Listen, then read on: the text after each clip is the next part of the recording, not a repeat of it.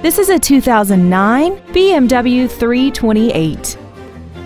This car has an automatic transmission, a 3.0-liter inline six-cylinder engine, and a clean non-smoker interior. All of the following features are included.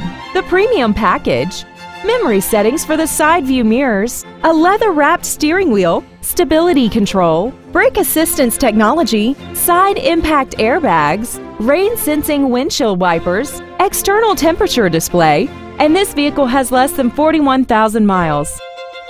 With an EPA estimated rating of 28 miles per gallon on the highway, it doesn't compromise fuel efficiency for size, comfort, or fun.